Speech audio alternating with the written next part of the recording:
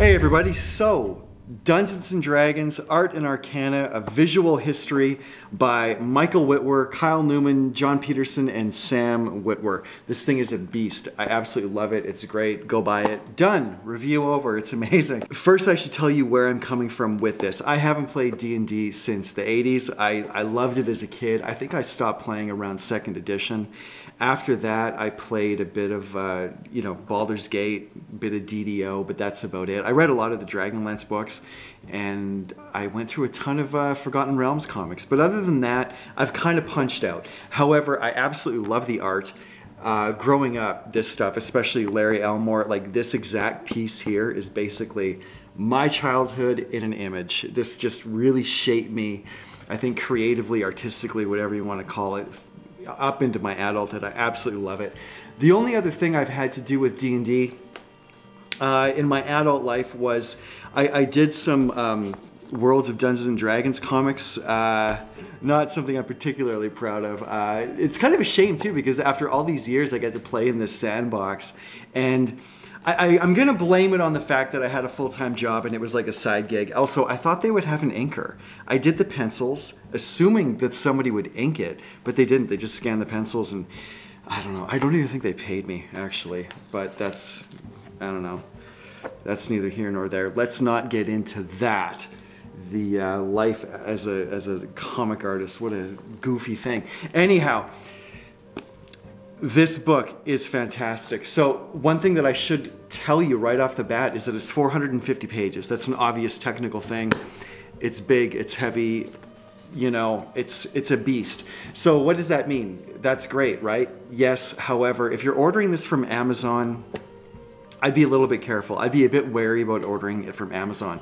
What I have noticed lately, I don't know if it's like this where you guys are, but big, beefy kind of expensive books like this, when they arrive from Amazon, they're tossed into a box with a little bubble thing and then that's it and then it slams around and bangs around. So if you have a big giant heavy thing like this that you're ordering from amazon there's a good chance it's going to show up with like dinged up corners and stuff like that which you're really not going to appreciate because it's kind of a you know it's sort of a, a coffee table type big sexy thing. And although I, I do think that the true value of this book, like all D&D books, comes from uh, throwing it in a backpack, abusing the heck out of it, walking around with it in that backpack, banging around, getting all dinged up, and um, leaving it out in the rain, getting some water damage on it and then it truly becomes a proper d&d book you know and something that looks like it's actually been through an adventure. That to me is what all d&d books should look like. But you might not want that to happen from the amazon warehouse to your house. So just be aware of that. Maybe go to your local comic shop or something game shop get it from them. The binding on this it is it's good right? The binding is good. It's a big high quality book with good binding. But you also have to realize that binding in current year, if it's an 8, which I guess this would be, let's say it's an 8 out of 10 for binding, that's very different than binding in 1980. I, I think that this binding in 1980 would be about a 4. So is it a high quality book for current year? Yeah, absolutely. But will it last? Will it survive getting dinged around in your backpack for ages? I don't know. Let's just see how many of just this, how much of this can it take? You know, how many, how much teenage, preteen abuse can this thing really take? I don't know. I, I really, I really don't know. Either way, let's get into the book itself. Here's their description of the book an illustrated guide to the history and evolution of the beloved role-playing game told through the paintings, sketches, illustrations, and visual ephemera behind its creation, growth, and continued popularity. And that's what this is. It's a mashup of material over the decades, and the layout itself, it's all over the place, which is great. You think it's chaotic, you think it's nonsensical, uh-uh. Get, just hear me out on this. The, the chaos in here is actually a good thing. What this does is it keeps your eye constantly moving. It looks like everything was maybe thrown into a bucket and just tossed out, you know, onto the page.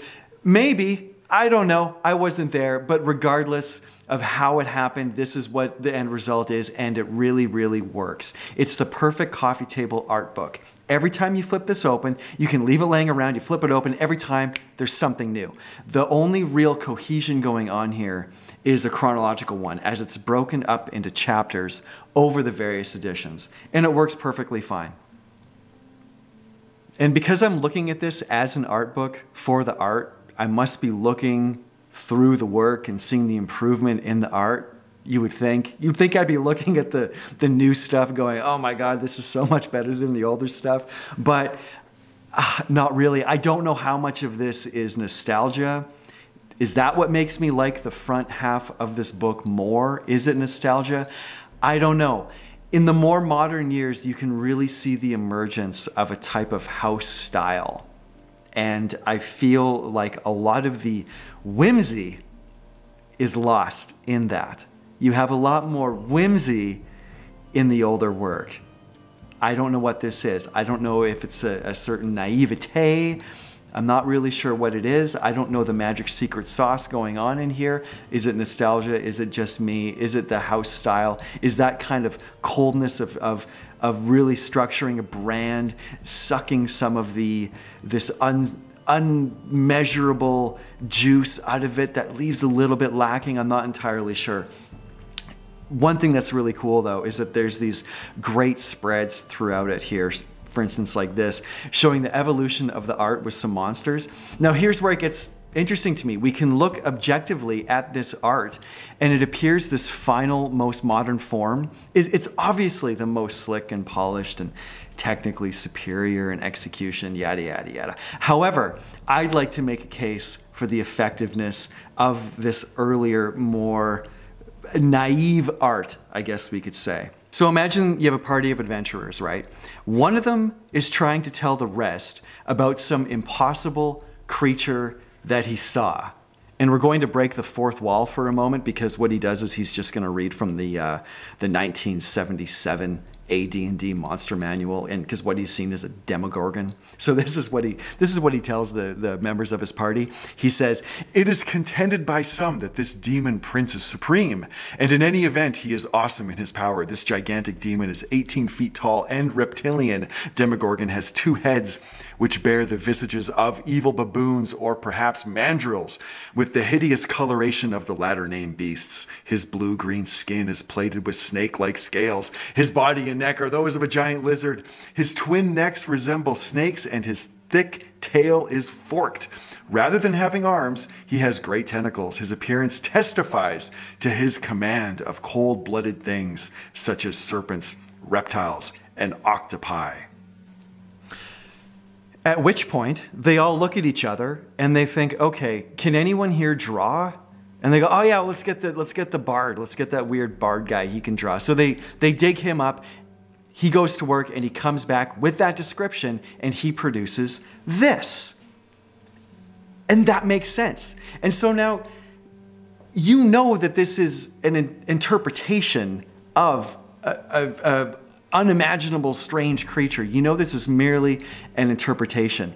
If this was a photo, it wouldn't work as well because what it does is because it's an interpretation, because it's doing half the work for you, because you know it's so flawed, your imagination needs to do the rest. It's like the art from the old medieval maps where some sailor caught a glimpse of a narwhal and he's like it's a uh, it's a horse out in the sea with a horn and a tail like a unicorn but it's got like fins and stuff.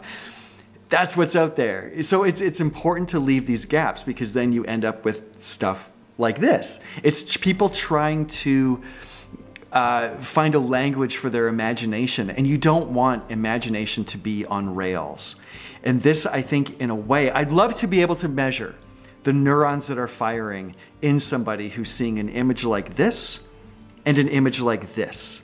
And which one lights up that imagination part of the brain more? Because I would suggest it's actually the work that is a bit more naive. Just my thoughts on this. I don't know. In closing with this kind of thing, I guess D&D is a pen and paper game, so it only seems fitting that art made with a pen and paper works the best. But that's of course just to me. You guys let me know what you think in the comments below. Maybe I just went on a big sideways, you know, thing, but there's something in there that is so interesting to me that I feel like you can just talk about for hours. So that's that. but the variety of the work in this collection is also what makes it so interesting. I love the modern stuff. I think it's great. Some of it isn't really my taste and feels a little bit, um, it's not what I think when I think of D&D. I guess I think of it from, again, say back in the 80s, which is maybe inspired by a, a bit more of a realistic uh, Tolkien type thing where a longsword is a longsword and it's not some kind of giant anime thing. But this is maybe just personal taste. And hey, again, it, it's such an open thing because it's D and D. It's what you make it. It's how you want to have a blast with this kind of play in this sandbox and have fun. Now, I haven't said much about the writing in this, and honestly, this isn't to take away from the work that they've done in putting this together, but the writing isn't necessarily the biggest selling point for me here. This, as it says right on the cover, is a visual history. It's a history as told through the art and the visuals surrounding this brand and that's what the most is the most interesting to me. And yes there is some cool stuff in here about the history and and the different things that were happening culturally at the time and how the Dungeons and Dragons brand responded to that kind of stuff and how they wanted to you know get out there more into the zeitgeist with with the population and that and, and the different tactics and angles that they went with. And that stuff is absolutely interesting. But the other the great thing about this and what makes it work so well is that you can really just rely on the visual imagery here to tell the story and the history of Dungeons and Dragons. And again, that's just another reason why this book works so well. It's really interesting stuff on that level, just as a, a an artifact of the last few decades in our contemporary pop culture. Just that in itself is really interesting. So uh, uh, there's a ton of reasons why I love this thing. But yeah, it, it, end of the day, just just buy it. It's really really good. There'll be some links below to some of my stuff if you want to uh, see what I'm up to and what I'm doing and all that jazz. Go check that out. And uh, thank you very much. I really appreciate your time. Really cool to have you uh, come and hang out for a bit and uh, talk about some D and D. So, all right, all the best. Cheers.